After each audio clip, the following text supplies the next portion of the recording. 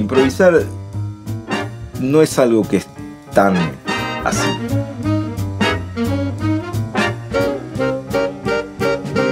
No es lo mismo escuchar un grupo chico que una Big Band.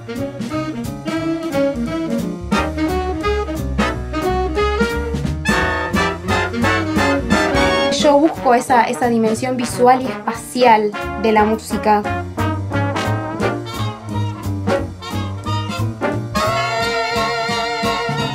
Siempre tuve como una dicotomía entre la canción y la música instrumental.